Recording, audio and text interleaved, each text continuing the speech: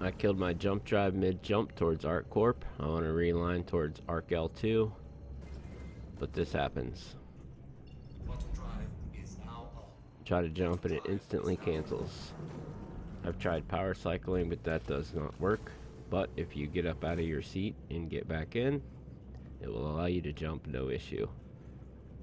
So far I've only seen this bug when you cancel quantum travel and then try to realign.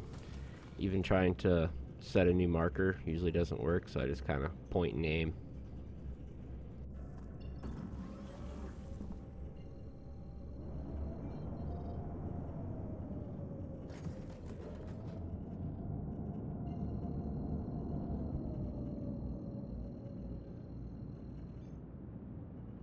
What drive is now.